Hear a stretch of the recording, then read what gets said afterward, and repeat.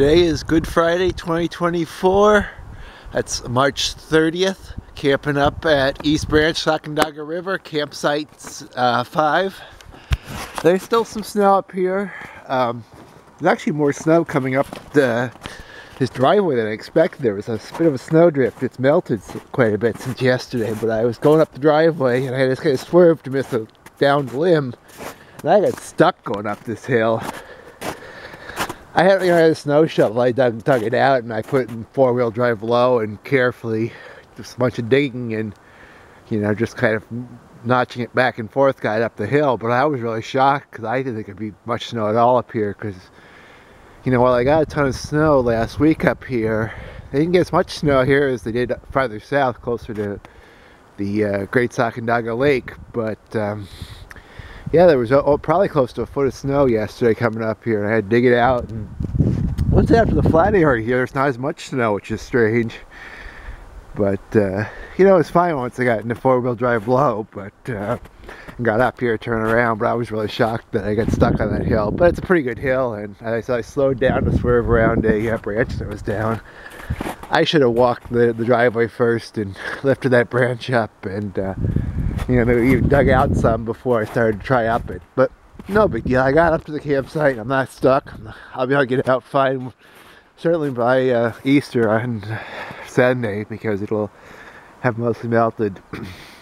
Sorry I'm stumbling a little bit. I'm a little bit chilled through. The wind's whipping around today. It's about 40, but you know, there's a roaring wind. And all morning it was fine. I mean, the sun's warm. But I was laying in the hammock under the uh, a blanket. I thought, oh, that'd be fine. Then all of a sudden I started to feel chilled through. But yeah, so I'm back up here again. I camp up here quite a bit. I like this site.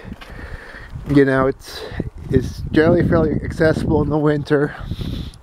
You know, it's right off 8th, which is always paved and plowed and maintained well, though it's getting kind of rough again. And this campsite is nice and screened from the road. Has decent sun. Has a great fire pit. And uh, I actually like not having cell service, the chance to get away from it all. Been doing a lot of uh, reading uh, ebooks now on my phone. You get them to the Libby app and you download them onto your phone and then you have them. And once they're downloaded, you don't need uh, actual cell service. So, I, you know, you just read them like a regular book and they're nicely formatted so they're easy to read. And when they're on your phone, you think you can read them at night because you don't need light to actually read the book, which is pretty cool. Oh uh, yeah, so I'm actually hide out. I was gonna probably hide out in my truck and get warm under the blankets there because I was in the hammock for a while, and I thought with the sun it all would be fine, but the wind's picked up and it's just gotten cold. Tomorrow's not supposed to be as windy, so that will help. I think some of it is just the snow being on the ground too, and the sun melting the snow, it just makes everything kind of cool and damp, plus the wind. But uh, yeah, it's still great to be away from Albany. It's been a pa uh, past month and a half. I mean, I've been doing a lot looking at uh, uh buying property or uh, buying a house or something, like, but I really wanted to do the off-grid cabin type thing but it's tough to find good good large lots uh, you know with good acreage. You know I'd like to have like 20 acres or at least 10 but you can't find anything like that you know really close to the city you know for any kind of price really. And I mean I have some constraints in my budget too so you know I can probably build it with cash but it, it'd be it's gonna be um, it's tough. And I have to decide if I really want to stay in New York because I make great money, I have a great job now, but uh, you know, you know, my parents are, you know, which are increasingly elderly, are still in New York, so I like to be able to visit them, but uh, that could be a whole other video or a series of videos. I don't know if you've been following my blog and all the uh, thoughts I have on, on different things related to that, but uh, it is what it is. It's good to be away and not have to be thinking about that for a while. I mean, so far my new landlord's been fine. Uh, you know, as long as he gets the checks, he's happy, and he's been taking my checks by mail, so I'm not not complaining right now.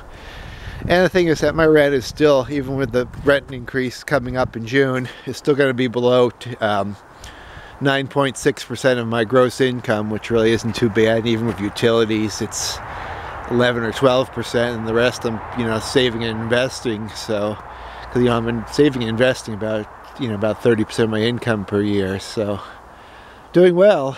I just got to figure out you know what I want to do because you know I'm in my 40s, mid you know 40s now, and uh, you know it's a great time, earning lots of good money, doing great work. But you know I'd like to figure out where what where I really want to call home because my really dumpy apartment really is not home, and these trips are great, but uh, you know it's only I can't be up here every every week. It's too far to drive back and forth.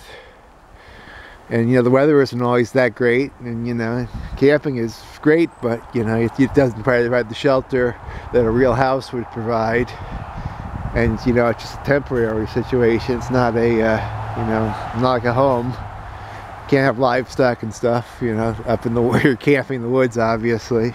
But uh we're almost six minutes now all I can say is it is kind of a chilly day with that breeze. I'll be glad when it breaks, uh, the breeze dies down tonight and um, hopefully the rest of the weekend will be pretty warmer and nicer. Well, I'm going to do some more reading probably from inside my truck where it's hopefully a little bit less windy at least because the hammock is just too cold right now. But uh, thanks for watching and always check my blog for the latest updates. I know I've been not so good at posting things on YouTube, but I've been busy and I just haven't been doing the videos as much.